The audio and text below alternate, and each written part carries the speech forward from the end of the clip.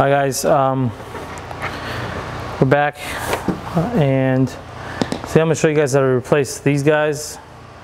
Um, sometimes they do the windshield, they pull these cowls, all the stuff off and they break them so we had to order a new one.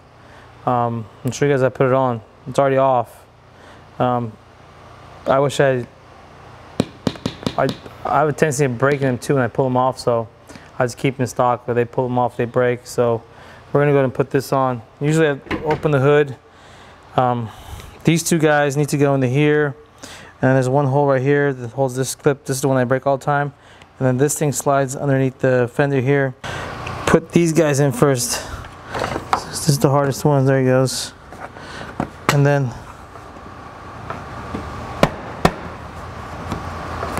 that's it really. Well, that one on really easy.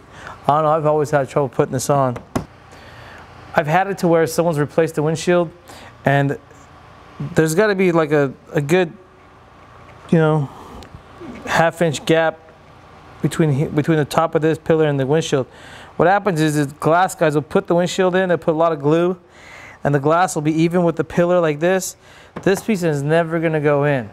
So I'll just be just when you guys are replacing this or glass guys are watching this, make sure you guys push this windshield down as much as possible because you're not going to be able to get this molding back on.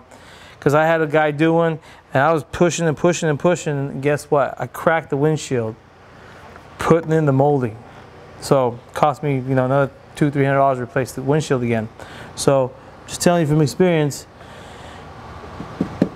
when the glass guy puts the new glass in, make sure that they push this thing down as far as possible, and you get about that much gap between the pillar and and the windshield you need that gap because this clip is not going to go in then this thing's going to sit too high and then you're going to be wondering what the hell happened.